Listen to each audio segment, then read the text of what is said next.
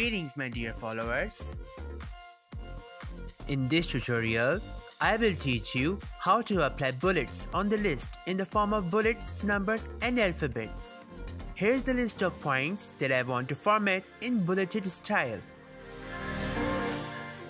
I would highly recommend you to watch my tutorial about importing data from MS Word into Adobe InDesign.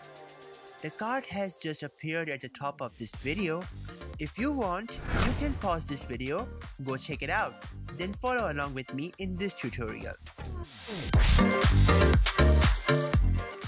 Let's go back to those points and I'm going to zoom in for you so that you guys can clearly see what's going on. To apply bullet on these points, I need to have bullet paragraph style. Let's go to the paragraph style Shortcut key is F11.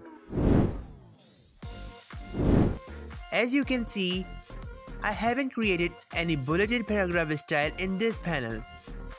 To create a new paragraph style, go to the bottom of the panel and click this page icon. It says create new style. Click here. New paragraph style has been created. Now rename it Bullet. Let's select all these points and observe in Paragraph Styles panel that it's showing Basic Paragraph Style. Now, with the text selected, click the Bullet Paragraph Style. Nothing happens. This is because I did not edit any properties of Bullet Paragraph Style.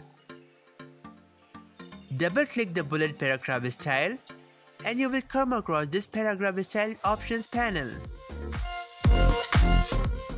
This panel has many useful tools, but for the time being, I am going to focus only on bullets and numbering tab. Over here, you can rename this paragraph style the way you want. As I have already named it bullet, I am going to leave it just like this. In the list type, when I click over here, there's a drop down menu displaying three options. None, where no effect can be applied to this paragraph style. There is bullet. Bullets can be of any shape dots, square, triangle, arrow, etc. And numbers 1, 2, 3, 4, etc. Let me show you the magic. First, make sure that this preview is enabled so that you guys can see the changes in paragraph style when I change the values. Now, let me choose bullet and see the points are now in bullet form. Check this bullet character panel where you can have variety of bullet shapes.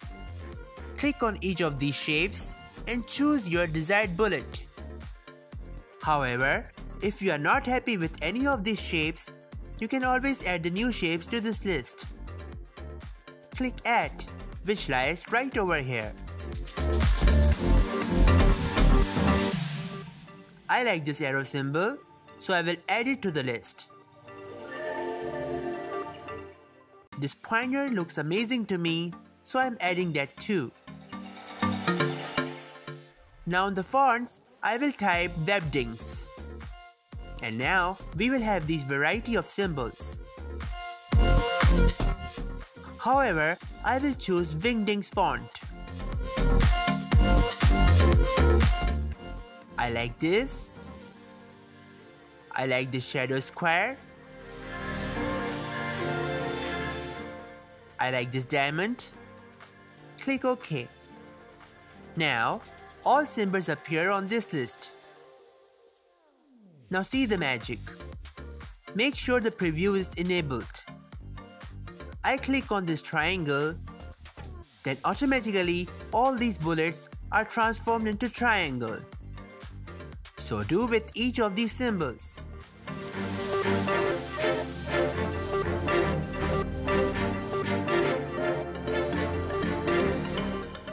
Next, we come across this option text after. This means what should we add after the bullet? These are the formulas raised to t. If I click this arrow and choose paragraph, then the paragraph symbol will appear next to the bullet. You can keep adding more and more bullets, but normally we don't do this as it is not required in text formatting, so I'm leaving it as dot bullets. Next thing is character style, but since the bullets are not in numbers, this option will have no effect on bullets. However, if I choose number instead of bullets, then I can apply these character styles to these bullets. Next thing is bullet or number position. Since all this text is already left aligned, this option will not change the position of the bullets, whether it's left, right or in the center. Now focus on this tab position, which is the distance between the bullets and the text. Here, you can see from the ruler that the distance is 0.5 inch. So if I increase the value, text goes further away from the bullet. Now, focus on left indent. This is the distance between the bullets and the border. So if I increase the value, only the bullets move. Text is not affected at all. Now, focus on the first line indent. As I change values, it affects the position of both bullets and text. So I will leave it as 0 inch. I want to add spacing between these tags, so I am going to the basic character formats and increase the leading to 16 points.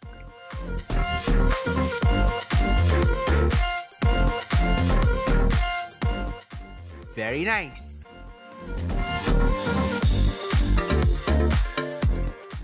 Now, I want these bullets in number form rather than the shape bullets. To do that, create new paragraph style and rename it bullet numbers.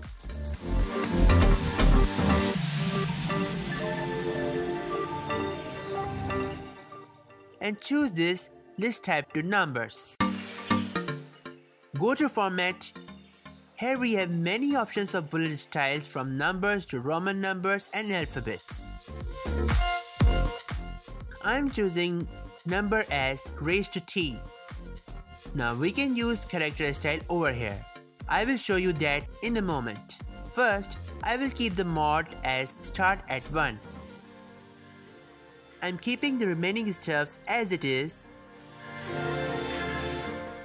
Nothing has been changed click on the text and see that it has bullet paragraph style and not number bullets. Select all this text and click on bullet numbers.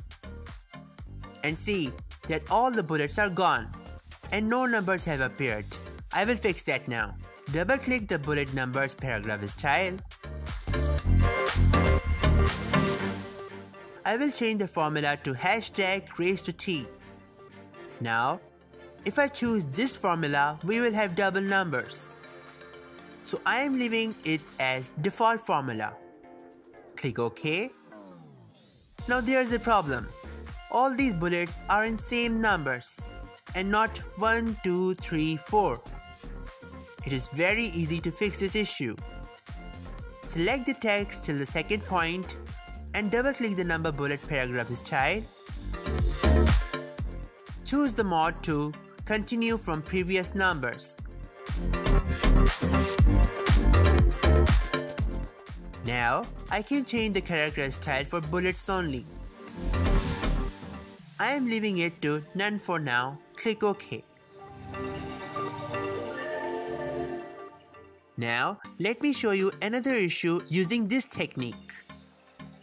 Let me find the other text that needs bullet style Here it is. I want to make these three points in bullet format.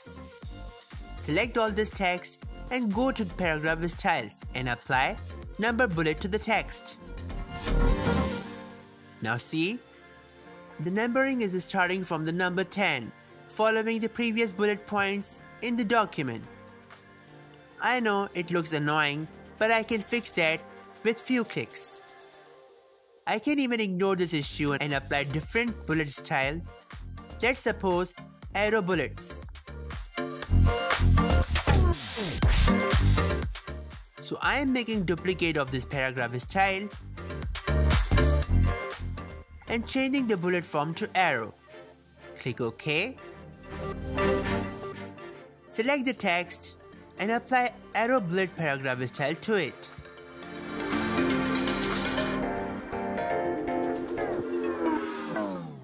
However, I want this list in number bullets. So I will apply back number bullets. But this time, I'm making duplicate of this number bullet paragraph style. Let's rename this number bullets starting number. Go to bullets and numbering and choose mode to start at 1. Click OK. Now select this list and apply this starting number bullet paragraph style. Select the next two points in the style and apply number bullet style. I have fixed this issue successfully by creating separate paragraph styles. Now I want to have alphabet bullets. It's so simple. Duplicate these both paragraph styles. Let's rename it bullet alphabet.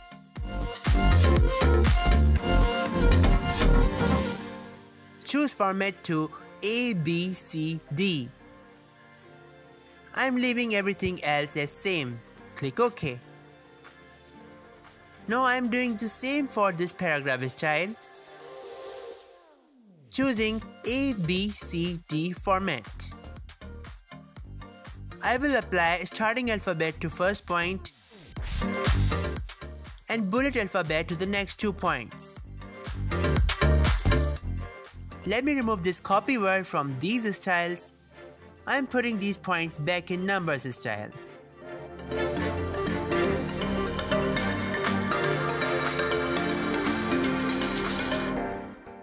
Now, the last thing I want to do is group these bullet paragraph styles together. Click bullet, hold shift and click the last one. Right click and choose new groups from styles.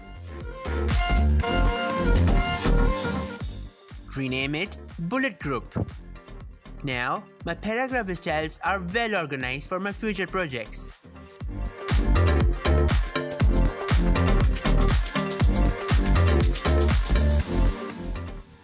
subscribe to my channel for more amazing content. See you in the next tutorial. Bye bye.